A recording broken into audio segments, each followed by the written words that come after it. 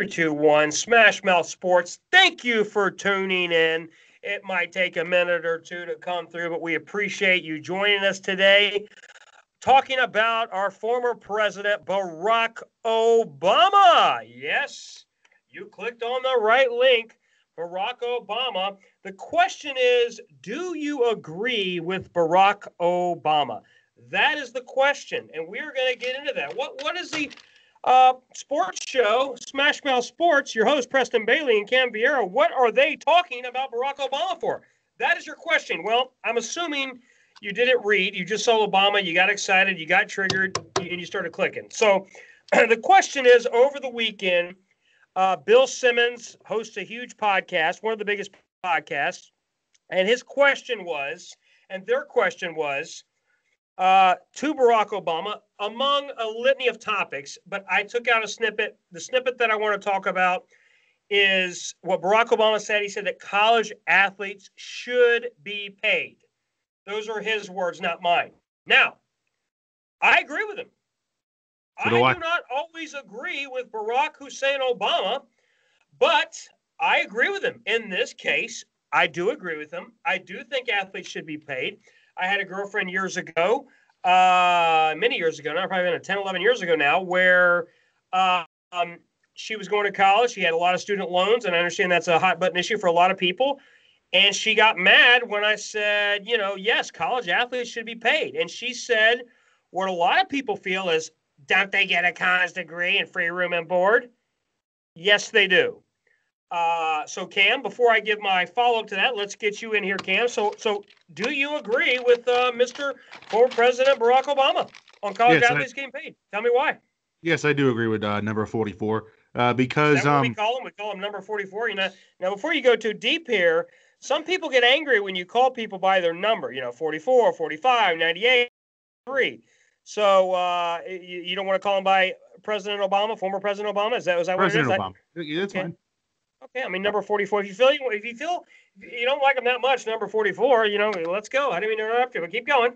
Well, I mean, I, have seen former presidents when they interact with each other on social media will say, I think Bill Clinton was number what was he forty-two. Well, which is the Bush senior number thirty-nine. So it's just something I saw once. But anyway, um, no, I agree. So, so not to derail us, but are, are you a former president that I'm unaware of? Is this something? No. Is you got some breaking? Okay, so go go ahead. Um, I just, I'm just telling you what people are going to say because I read the minds right away. I think, wow, number 44, you get, you're that casual. Okay, I've, I don't personally, I don't like it when um, commentators call people 44, 23, and I'm talking about sport. I, number 23. I, I just, I never like that. To me, it's too casual. You don't know the guy, but go ahead, Cam. I didn't mean to steal your theme, but go ahead. it's okay. It's quite okay. But no, I agree with uh, President Obama. I do agree that college athletes should be paid because for the very simple reason they use their likeness on jerseys and video games and stuff like that, and the NCAA is allowed to profit off of it, but the players aren't. I mean, come on, I that's agree. just wrong. I, I, agree with you, and I'm going to go deep in the weeds here. And, and this is this is it started off casual and fun, and not by design, but it's going to, over the course of this conversation, this 10 or 15 minute conversation, it's going to go a little bit in the ditch, and here's why. Uh, for many years, Ed O'Bannon and his tw- and his twin brother, I want to say it was Charles O'Bannon, the O'Bannon brothers, they were big. Uh, really, I think might have been close to 20 years now. They were twins. They won a national championship for LSU, or excuse me, I'm sorry, UCLA. I don't know why I thought LSU. I had LSU in the mind. UCLA, excuse me, UCLA college basketball one of the elite programs, and they sued because exactly what you said, their likeness and so on and so forth. Now, here is number one. You know, I brought this up to uh, my mom and some other family members of mine, and they said, "Well, don't they get a college scholarship?" Yes, mom, they do get a college scholarship. Um, yes, friends and family, they do get a college scholarship. Let's round up. Let's just say the average is 20, 30. Let's just say for the sake of this conversation, it's worth thirty to forty thousand dollars a year at your average non-Harvard, non-traditional. Is that fair to say? Thirty to forty grand value. Yeah, sounds about right. Room yep. and board. We'll, we'll, call it forty grand. And you're like, well, they're getting forty grand a year to dribble a basketball or throw a football. Okay. And let me go. Let me go through this.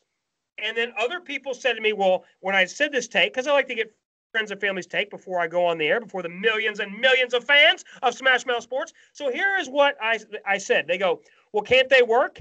I'm glad you asked that question. As a matter of fact, when you're an elite D1 college athlete, you're forbidden from working. Correct. You are forbidden. So if you are a rank and file, so they have no way college, to make money.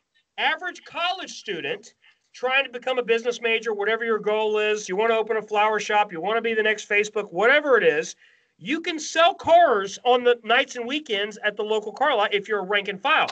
If you are, we're going to use Tim Tebow and Zion as an example because they're the most recent super, super high profile that transcended college sports. If you are Tim Tebow or Zion, you're actually forbidden from selling cars selling flowers, selling baseball Working cards. At Burger King, right. Working at Burger King. The, the, the sick part, now, we can have a debate on what is the fair revenue number. Should we pay them 30 grand, 50 grand? We can have that debate for another time. But the first debate is should they be paid? Yes, you should be paid for your services. And, here is what was what, the thing, and I always felt this way, but was really jarring to me was I remember after Tim Tebow's sophomore season, Tim Tebow still is, and at the time, at 19, 20 years old, was worldwide athlete. Everybody in the world knew Tim Tebow. Everybody. Okay. Perhaps the most popular college athlete ever. Correct. Perhaps, perhaps the most college athlete ever. One of the best ever. See the him or I, Christian. I saw him for this ESPN documentary and special, getting out of a dilapidated, looked like an old Mercury Marquis, looked like my first car, an old dilapidated 1990 something Mercury Marquis. The door didn't work, and I thought, and of course, you you know intellectually they're college athletes, they're poor, regardless of their status. But to see Tim Tebow at his level get out of this awful, dilapidated car, eating ramen noodles, going to this impressive ESPN interview, it, it just reminds you he's a poor college athlete just like everybody else and he's got crazy fans. He's got stalkers. He's got psycho college, University of Florida fans, men and women that follow him. So, yes, he should be allowed to take his girlfriend out to dinner, steak and lobster, have a $200 cell phone, and so on and so on. What are your thoughts, Cam? In fact, wasn't it Chase Young last year who got suspended for a game because the Ohio State coach paid for his girlfriend to come to the game or something? I believe it was either his, I don't have it in front of me, but I believe it was Chase Young. It was either his girlfriend. I might even say it was his family that flew to the game because of a family circumstances. Right, on the coach's dollar. Right, on the, coach the coach's dollar. He paid whatever it was, five, six, seven hundred dollars for them to fly, whatever the bill was. And that's my problem. My, my problem is, and I'm lumping basketball and football because those are the two dominant sports. Of course. Okay. So that's what we're going to focus on.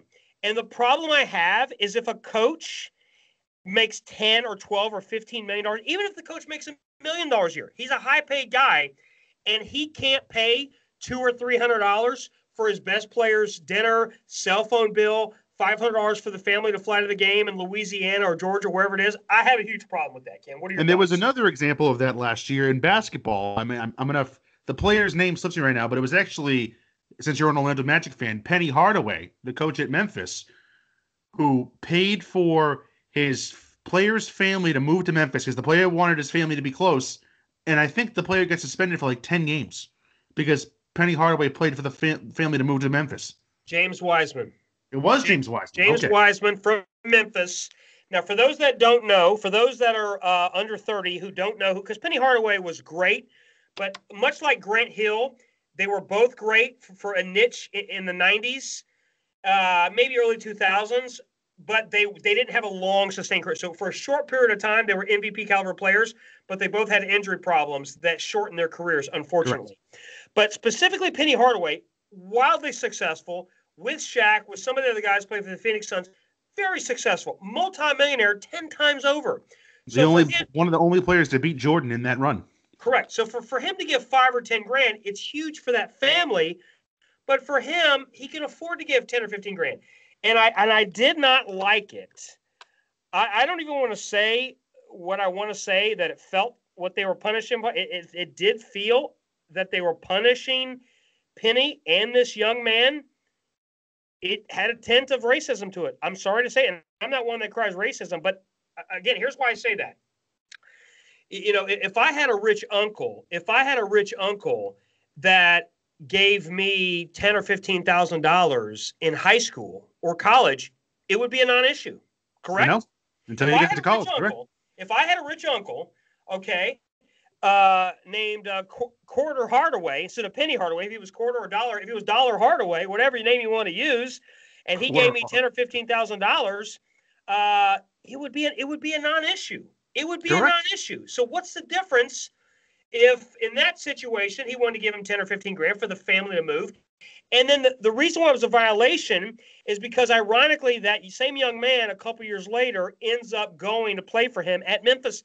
He was a mentor of his. Like th- this is where, and I, I don't want this to get derailed because this could turn into a seven-hour show about government. If you love government, number one, You love the You're an NCAA. idiot. you're an idiot. Number two, look at the NCAA. They are a government entity. You can say, well, blah, blah, blah.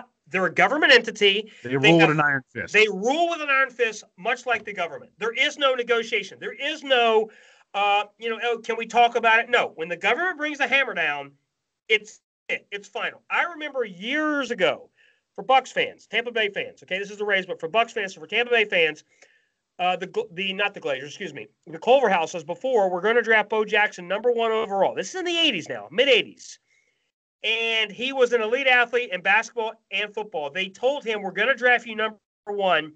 Stop playing college baseball." Right? right. They brought him in for a dinner, for awards and everything, because we said we're going to draft you number one. He said, "No." He said, "I'm an elite baseball player. I'm an elite football player." He told the owner to his face. This is in the '80s, way before progressive movements and so forth, way before players had the mobility they do now. He told them to his face, Absolutely not. I'm not going to quit baseball. They then, the very next morning, called the NCAA and he got in trouble. Oh, that's cheap. He was cheap. The Culverhouses were cheap. So, but the point is to get back to the task at hand with the, with the government, anti government, is I believe in a free market society. So these young men, these players, typically 18 to 22 year old young young men, many of them young black men, African American men, uh, wh- whatever the market. So my problem is this: if if you upper deck, I, I don't even know who the main uh, big uh, base basketball and football manufacturers are anymore. You know, it used to be Fleer and Upper Deck and Donruss. Now they're all out of business. Those are the ones when I was a kid. Ca- Cam, do you know? Did you ever get uh, football cards, baseball cards? Uh, no. That's the best part. I'm so glad you came came through with that one for me. But the, the point is, Uh, whoever the company is, Topps, Topps is a good company. Topps been around. So Topps, whoever it is, Topps, Upper Deck, whoever the big companies are now, uh, maybe we should get them some sponsors to the show. They can tell us who they are, so they can uh, contact us. But, but anyways, the, the, point is to, to set the standard. I'm going to use Tebow. So the O'Bannons have been trying for years. Here, here is my problem. My problem is if if in the if in the first year they wanted to roll out, if the first year they wanted to say anything under 10 grand, we're going to let go on the wayside. I would be totally fine with that. Okay, a coach gives you a thousand, two thousand, three thousand dollars for this game or that game or the other. Here, here is the other point. If you are Tim Tebow, to use him as an example, and you're playing Alabama for, for the national title game, and you throw an interception, or if you get sacked and lose a fumble, tens of millions of people are going to get angry at you. It's going to be watched forever. It'll be watched forever. And if you tear an ACL your sophomore, junior, senior year, unless you are the elite of the elite, odds are your career is over. Odds are you're selling life insurance. And you, I'm glad you just said that too, because even these guys we see on these elite programs Alabama, Clemson, Ohio State, basketball, Duke, Kansas, Kentucky, North Carolina while they might have a handful of guys, still most of them aren't going to go professional in sports. And, and they should be able to make some money. It's it's just ridiculous. And like you just said, if they shred their elbow or tear their knee up, then it's over. They're selling life insurance. And here is the thing, uh, and with all due respect to guys that sell life insurance, nobody wants to sell life insurance. But the, the, the point, the point being, it's to use Tim Tebow as an example. Tim Tebow or Zion. Zion is the most recent case a year ago. Zion for Duke. You know, he tore his shoe off. He got injured. He ended up getting drafted number one. It's a mute point. Tim Tebow made millions uh, in the NFL. Didn't work out. Then he's he's got books. He's got SC, he's still got tons of money. But the point is, it's not about Tim Tebow and Zion. Tim Tebow and Zion are going to be fine. Those guys are going to be fine. There's one of those guys per league, maybe one of those guys per team. The, the point is, is the other guys that have nagging injuries and so forth. So here is to, to come full circle. I don't have a problem, you know, if Tim Tebow, Percy Harvin, whoever you want to name, works for the local Toyota or Ford dealership and they pay him a thousand dollars a month. And let, let's say they pay him two thousand dollars a month. Come buy a new Ford. Come buy a new Toyota Camry with Tim Tebow, and they give him two thousand dollars a month. That's great. They sell one car, they're making two thousand dollars. They've got their money back. They're going to sell hundreds of cars. Okay, sure. that that's the point, or at least ten, at least dozens of cars. Worst case scenario, they're going to sell ten or fifteen cars. Okay, so he's going to Tim Tebow's going to get his money, two or three grand, whatever the number. Pay him like a salesman, two or three grand for whatever. And my problem is, I am anti-government. I'm anti the NCAA taking advantage of these young men. And you made it a point exactly. They don't get a dollar from the video games. And as a consumer, I hate the fact that I have to pretend that number 15 for Florida Gators is not Tim Tebow. It's no name on the back. Okay. So so the guy that's 6'3, 240 pounds, that's left-handed, that's big and strong and muscular, and number 15 is no name on the back, is def is definitely not Tim Tebow. that that's that's my problem. Okay, so that that is my problem. So uh, make sure you like and t- subscribe to the channel before we forget. By the way, the numbers are growing up. The numbers are going up. I like it. We're getting more and more views every day, more and more subscribers. Before you know it, we'll have a thousand subscribers, and we'll be wondering why we were ever worried about getting uh, subscribers. It's true. It's absolutely true. 100%. Well, you're yawning, so you, you, you've had enough. But yes, like and subscribe to the channel. But to, to end this video, uh, that was terrible, by the way, Ken. It was a horrible way to end this video with your yawn. But, anyways, uh, get some uh, some monsters, crush those. But like and subscribe to the channel. But at, at the, to button this up, I agree with Barack Obama, former president, or as you just call him, random number 44. Uh, like and like and subscribe to the channel. Thanks again. Thank you.